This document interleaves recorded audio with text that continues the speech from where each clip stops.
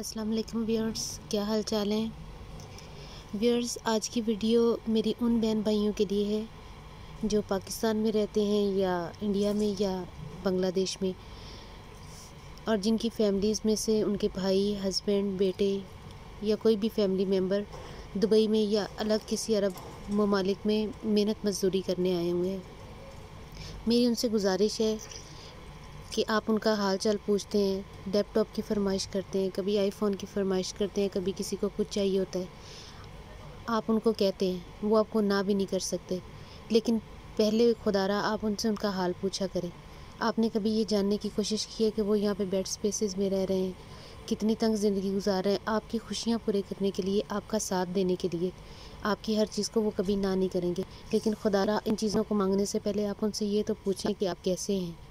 आप किस हाल में रह रहे हैं? आप हमारी ये ज़रूरतें पूरी कर सकते हैं कि नहीं?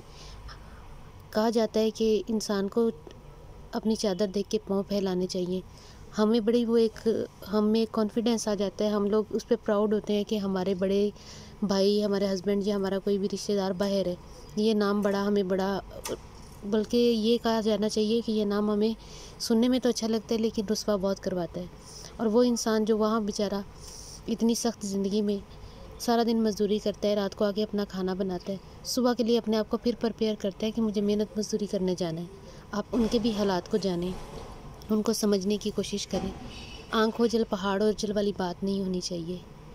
हो सकता है आपके थोड़े से दिलासे से उनका हौसला और ज़्यादा बढ़ जाए। तो व्यूअर्स का सुना माफ़। मेरा मकसद सिर्फ़ ये था कि आप परदेसियों के हालात को भी समझें और अपनों के दर्द को भी समझें। उम्मीद करती हूँ कि आपको मेरी ये बातें अच्छी लगी होंगी।